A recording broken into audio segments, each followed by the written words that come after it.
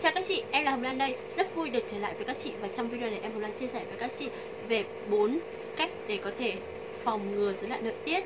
Cách số 1 Đó chính là các chị hãy ăn uống nghỉ ngơi thật khoa học. Cách số 2 Đó là các chị hãy thường xuyên tập thể dục Vì thể dục thể thao nâng cao sức khỏe. Cách số 3 đó chính là các chị hãy giữ tinh thần luôn luôn lạc quan, vui vẻ để sao? Để tránh biểu hiện là căng thẳng, mệt mỏi, kém vui vẻ, kém năng lượng. Và cách số 4 đó chính là các chị hãy bổ sung estrogen có trong nguồn gốc tự nhiên. Đấy chính là một cái phương pháp vô cùng là an toàn. Vậy thì bổ sung như thế nào? Em muốn chia sẻ ngay bây giờ chính là bổ sung estrogen bằng cách là đưa vào cơ thể hàm lượng isoflavone đầy đủ nhất.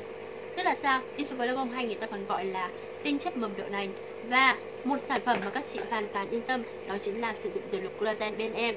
Khi mà các chị mong muốn bổ sung, thì trong dược lực collagen đã chứa hàm lượng isoflavone chiếm đến 40% giúp cho các chị có được sự cải thiện tốt nhất và chỉ cần duy trì từ 1 đến 2 liệu trình là các chị đã cảm nhận được rõ rệt.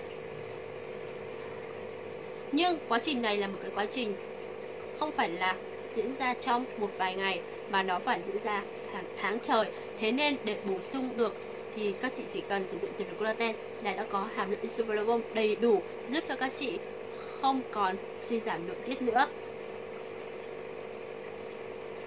Vậy là em đã chia sẻ với các chị về bốn cách giúp cho các chị phòng ngừa rối loạn nội tiết, bởi vì rối loạn nội tiết đã gây ra rất là nhiều nỗi lo cho các chị, như là thay đổi chu kỳ kinh nguyệt là viêm nhiễm phụ khoa như là nám da, sạm da, rồi giảm ham muốn tình dục, khô hạn âm đạo, hiện tượng bốc hỏa tất cả tất cả các vấn đề đó không còn đáng lo nữa khi mà các chị biết cách sử dụng, bổ sung estrogen ngay từ bây giờ bằng cách là sử dụng sản phẩm có chứa insuflavone tức là tinh chất mầm đậu nành sẽ giúp cho các chị cải thiện được mọi vấn đề.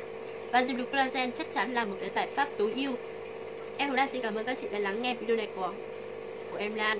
Rất vui khi em Lan có một món quà, đó là ba bí kíp trị nám tại nhà đơn giản nhất dành cho các chị. Các chị chỉ cần comment, tôi mới nhận. Em Lan chắc chắn, các chị sẽ hài lòng với clip này.